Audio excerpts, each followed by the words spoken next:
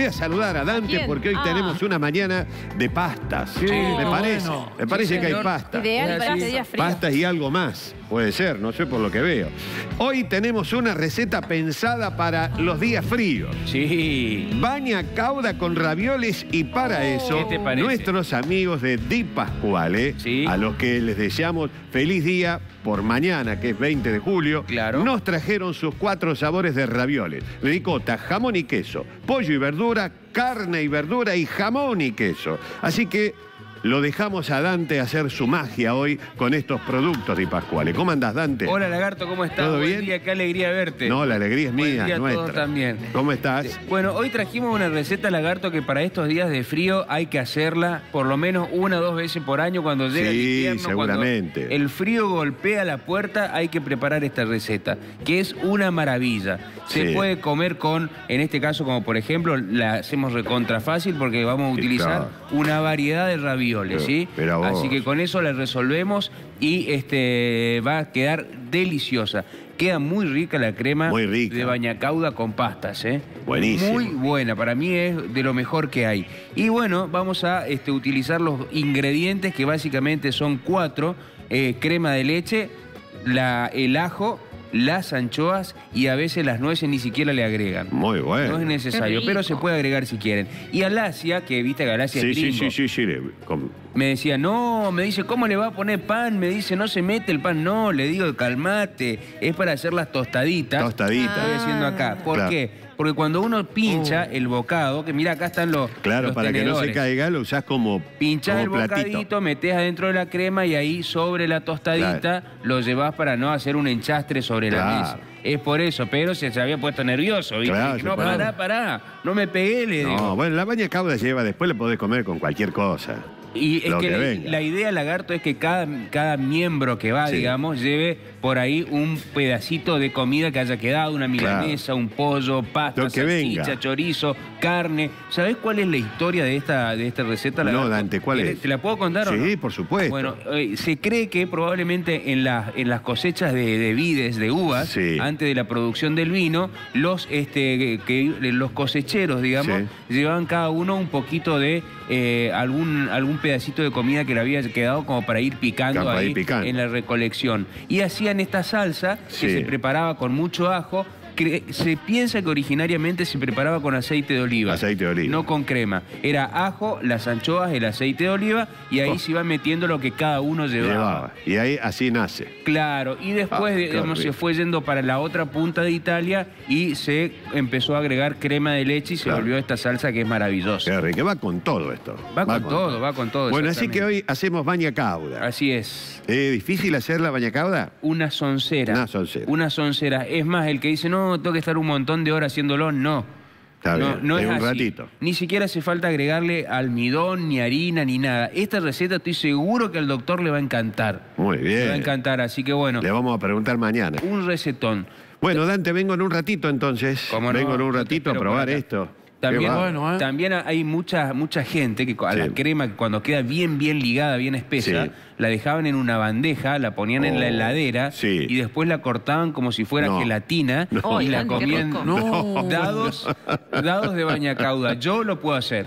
Yo soy muy capaz de hacerlo. Es más, hay otras personas que también la crema que queda la calientan Sí. un poquito, le cascan unos huevos. Ah, eso sí lo he visto Ah, hacer. Lo he visto hacer al final de la baña cauda. Aplauso para Sí, esas personas, la verdad. Bueno, sí, aplauso. Mirá la sal que tiene la, Bueno, la anchoa esta- esa. fíjate que estas son anchoas en salmuera. En salmuera. Son muy buenas, porque viene el pescadito entero, como Entero. puedes ver, ¿eh? Entero. Obviamente que a esto hay que agarrar y pegarle una buena sacarle lavada. la sal, se lava para que se desa desasili- claro. Bueno, no me sale la palabra. Desalinice. Desalinice, exactamente. Y después la utilizamos. Pero la pueden utilizar también si quieren Está en bien. aceite. Rico. Esta, fíjate que son, por lo menos cada anchoa, cuatro filetes las que vienen en Sí, sí, aceite. sí, sí, sí. Así que tengan presente eso. Que no es que le Está estoy bien. poniendo cuatro filetitos, le estoy poniendo bastante.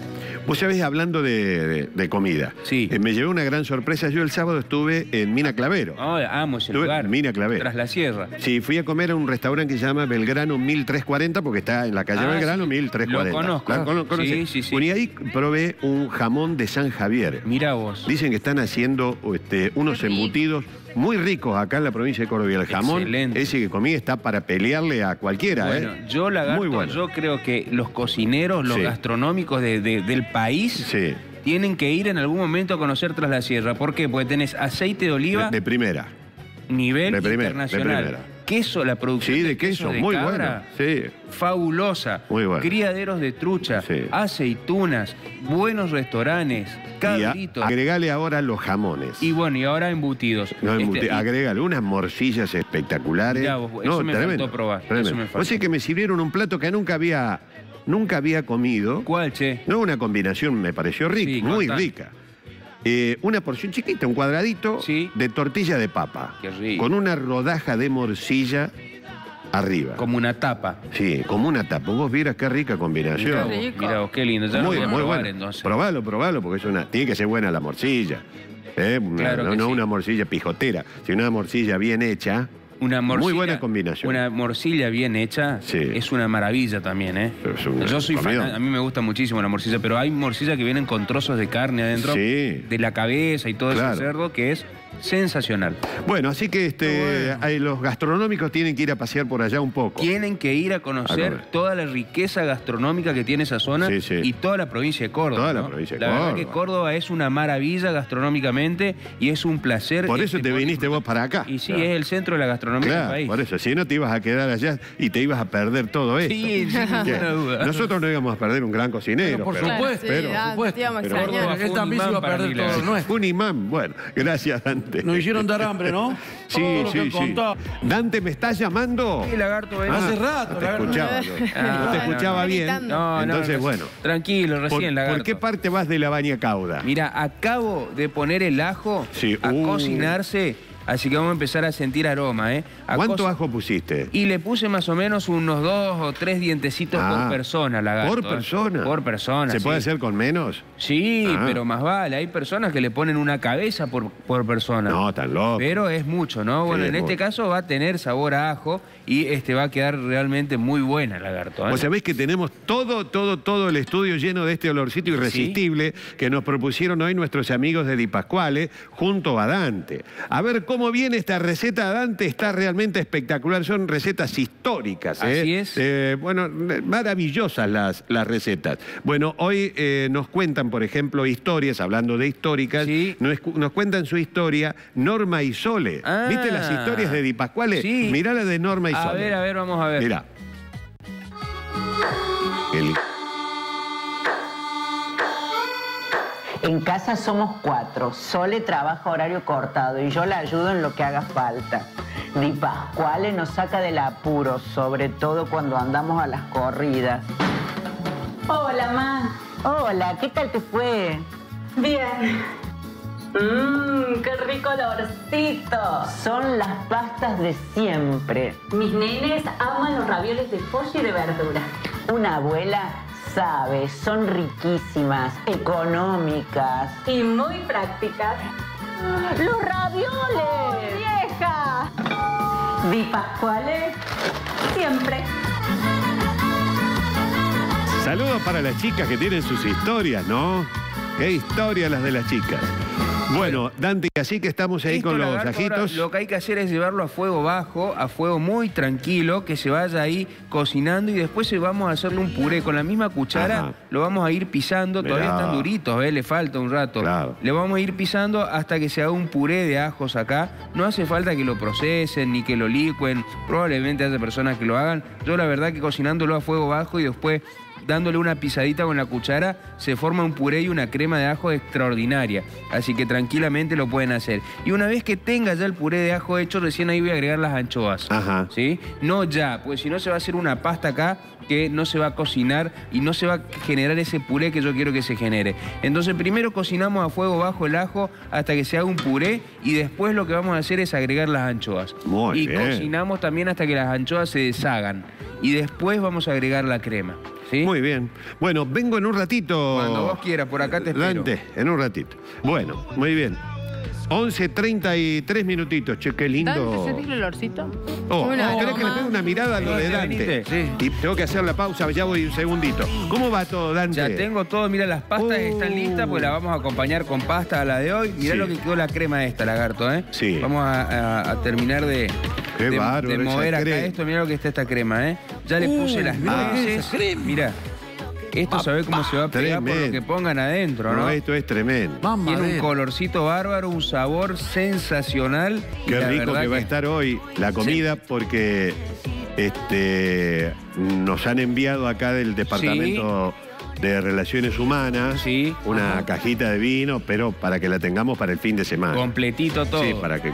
¿Eso se puede congelar? Se puede congelar la crema, no es lo ideal congelarla, pero Claro. se puede. Después uno la calienta, le puede agregar un poquito de almidón y va a quedar Esto va con vino bien. tinto porque lo- me dicen que lo puedo canjear. Ah, lo puedes canjear con lo que vos quieras, lagarto. Ah, muy bien. Eh, esto tiene una estructura, Que una, se banca cualquier vino.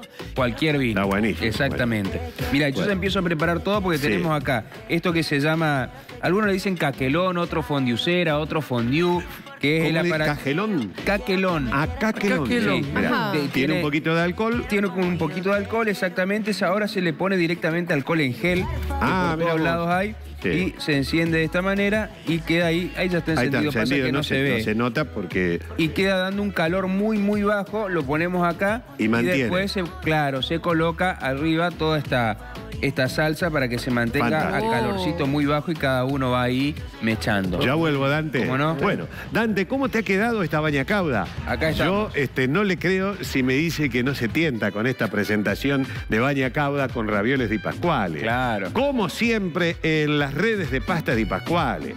Y en nuestros sitios tiene la receta para hacerlo tal cual lo ha hecho Dante. Así que buen provecho. Exactamente. ¿Te salió rico, Dante? Pero está bárbaro, mira y te cuento, acá están los, los palillitos estos, los brochettes, que vienen Sí. con diferentes colores, Ah. entonces no se confunden. Claro, Y- cada color para un invitado. Claro, exactamente. Después se toma la, la porción de, de comida que uno eligió, la embebe en la salsa y la Ah. deja ahí sobre la tostada o se acompaña con la Comela, tostada. Dante, comela. Va, a tener que leer vos los ingredientes, ¿no? Sí, sí, lo leo yo.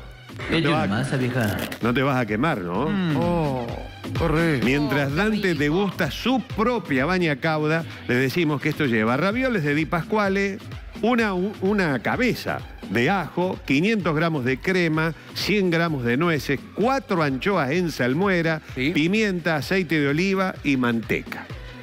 Con eso ya estamos, ¿no? Esto empezás y no puede parar más, lagarto. La verdad que esto es tremendo. Porque además podés descansar un ratito y seguís y, y así se come la todo un día. Exactamente. Y sobre todo con estas pastas tan buenas, lagarto. No, esto Que es un placer increíble, realmente. Esto es Di Pascual. Uh. Ah, y un, un pancito te rinde para dos bocados. Una, sí, yo para economizar y poder comer un poco más. Mira vos. Qué rico, ¿no? Para Este es el poco, cocinero que come su propia, su propia comida. Bueno, gracias Dante y gracias a los amigos de Di Pascual. Un placer. Bueno. Está atorado. Lo ideal es que coman todos. Claro, Sí, que nos deje sí. un poquito para nosotros. ¿Qué? Me- se me hace agua a la boca. Ay, sí. una masa, vieja.